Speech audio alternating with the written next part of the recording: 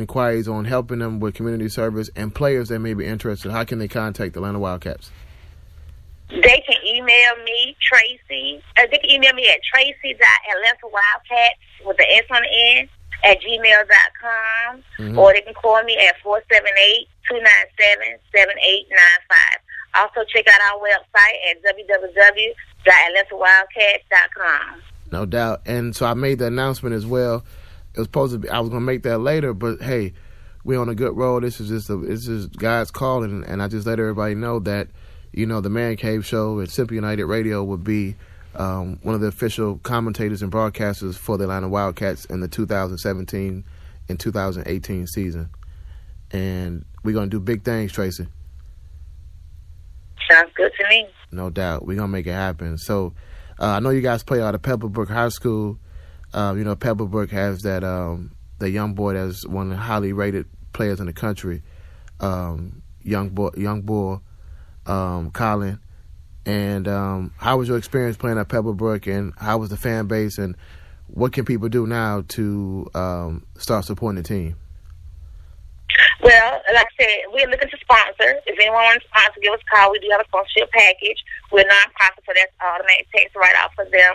Um, but we're trying now to put together, we have two tournaments that we're putting together. One is going to be a $2,500 grand prize, and the other is going to be a $5,000 grand prize. Ooh. And those proceeds be geared towards getting the kids ready for back to school. Nice. Nice. Now, here at Simply United Together as well, I think we should do a collab event. You know, Simply United Together is a nationwide community-based uh, organization um, reaching over 253 cities. So we're going to get a chance to sit down and talk and bring this thing together, and let's take over Atlanta. How about that? Sound like a plan. Let's no, make it happen. No doubt. No doubt. Tracy, I appreciate the call. Once again, thank you, okay? Okay, you have a great night. You too now. Bye-bye.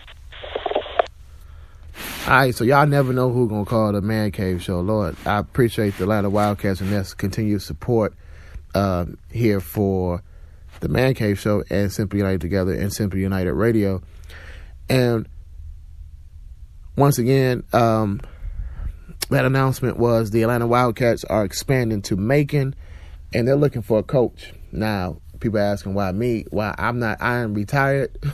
I've given seven years of um, my life on that hardwood, um, and it was a great experience. Uh, but I've moved on to other things, and um, and yeah, uh, it was a pleasurable experience.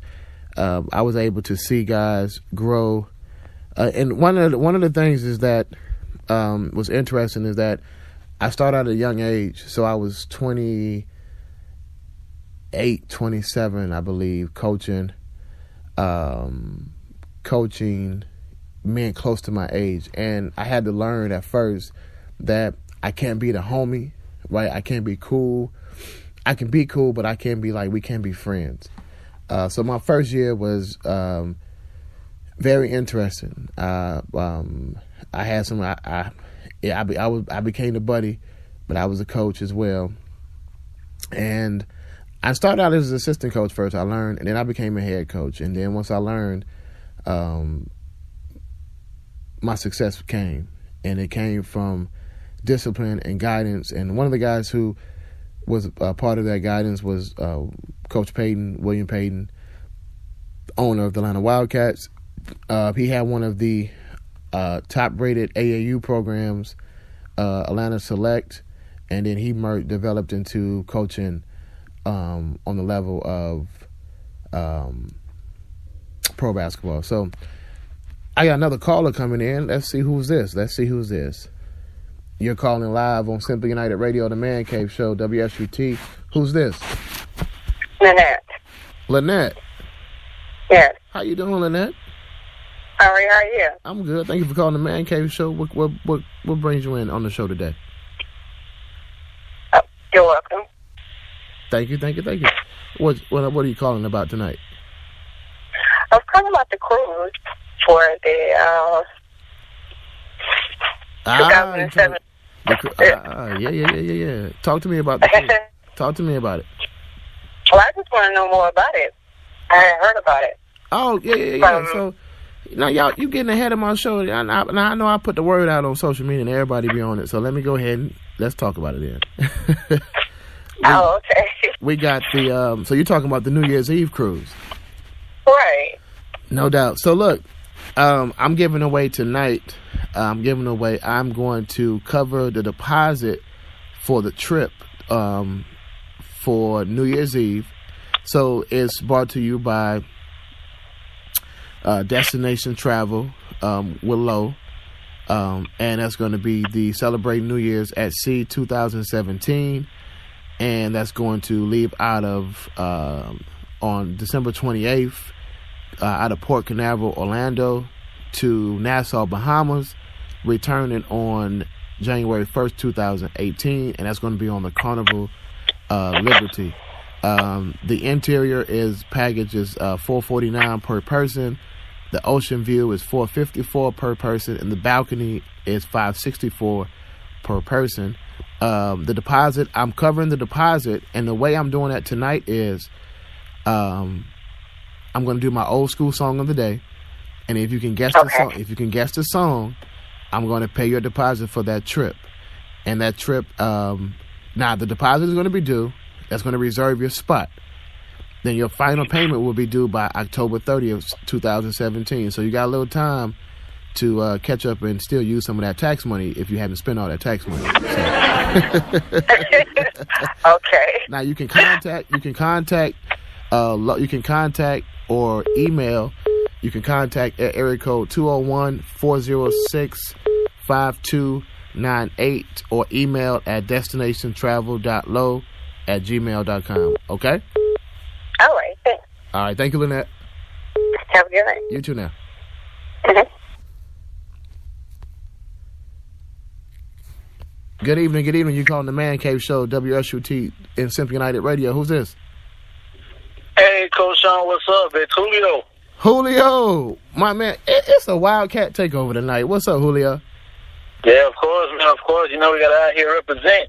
Man, I appreciate you, man. What's going on, man? I, now, uh, in it, formally introduce yourself, man, your position, your name, and all that good stuff, man. Uh, well, you know, my name is Joshua Lucero, uh, for uh, known as Julio. Uh, positions I play, I play the one and the two. I can also play the three, but you know, that's just that's a story for another day. And um, well, you know, I'm a I'm a I'm a Grady baby. Been born and raised in Atlanta all my life. Nah, Don't know any other. no. Uh, but yeah, that's that's that's pretty much a low profile for me. No doubt. Now, there's a um, now there's a secret about you that I that I, I just found out. Uh, let's tell everybody your affiliation with the Braves too, as well. Oh yes, sir. Yes, sir. I'm actually a part of the uh, the most energetic, eccentric, most known, highly caliber uh, drumline entertainment group of uh, all baseball, major league, uh, major league baseball teams in the nation. You know, we're um, well, with this new move to the uh, to SunTrust Park, it's a uh, it's a whole different ball game. Actually, you know, it's a new new place for us, so we gotta reorientate ourselves. I actually just got out of an orientation. I would have called sooner, but you know, just got out of it. No. And um, yeah, I've been doing this for five years strong, and uh, it's actually a lot of fun, you know. And you know, if if you was trying to hit catch the uh, the inauguration, the opening of the uh, of the stadium, the, the tickets are pretty much sold out, so you kind of missed out on that the opening Ah. uh, week. You know I was gonna hit you up, man. Yeah, yeah, yeah, yeah, yeah, yeah. You're not the only one. Even my phone was like, "Hey, so what's up?" And I was like, yeah, "I'm gonna see what I can do." Ah, man. No doubt, man. Nah, I appreciate it, man. Um, my man Julio. Now, this Julio, this was your first year with the Wildcats, correct? Yes, sir. Yes, sir. My first year, and uh, hopefully not my last. No doubt, man. I, I first saw Julio. Now, the one thing about Julio, man, um, Julio, I, when I saw Julio, I'm, I'm gonna tell the story for real. I was like, "Who's the Spanish guy out there playing basketball, man?" And uh, I was like, "Man, he must have came with somebody." And I, I saw him suit up, and I'm like, "Okay." And Julio out there, he balled. I said, oh, "Okay, the man can ball, man." I first met him, and um, that's one thing about the Atlanta Wildcats is diversity. But the man can play ball. He's a point guard. He's heartless on the, he's heartless on the court, fearless on the court, and plays ball. And when I commentate, I always who I always tease him and go Julio. yeah, yeah, yeah. I, was tell, I was telling all my teammates, man. After today, ain't nobody gonna know what my real name is because of Coach Sean. my man, man, you gonna be Julio for life for me, man. But you're a good dude, and I appreciate you, man. And look, man, keep working hard, keep grinding, um, man. Keep working, stay in the gym, work on you, get your shots up, and um, man, you'll have a, a definite great season next year, man. Yeah, most definitely, coach. You know, can't wait to get back into the uh, lab with the the Atlanta Wildcats and the rest of the staff. No doubt. You know, shout out to shout out to Coach uh, those Coach Payton. No doubt. Uh, you know, I've had a lot of mentors in my life, and he's going to be another one of those that you know slides up into that category. I'll say that much.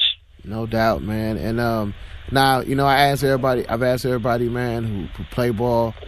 What was your inspiration um, to pick up that ball and go ahead and play ball? You know what? To be honest, it was um, it all started back in middle school. Mm-hmm. Like I went, I went to a middle school that was none but you know Latinos, a lot of African Americans, Mm-hmm. and very little you know Caucasian folks.